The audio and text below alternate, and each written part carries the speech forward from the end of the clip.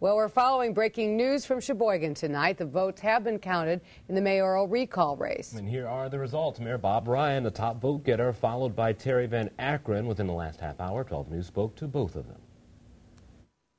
Everybody told me you're not going to get 50%. Um, I'm satisfied with the 33. We have a seven point margin over my uh, closest opponent. Uh, it happens to be the same opponent I ran against three years ago.